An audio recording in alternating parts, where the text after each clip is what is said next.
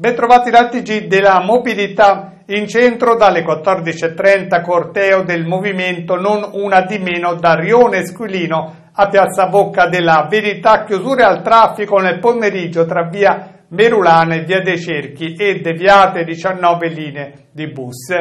Un secondo corteo sfilerà dalle 15 alle 20 con partenza e arrivo da Ponte Settimia, Spizzichino percorrendo via Ostiense e Porta San Paolo, anche in questo caso previste deviazioni per le linee di bus di zona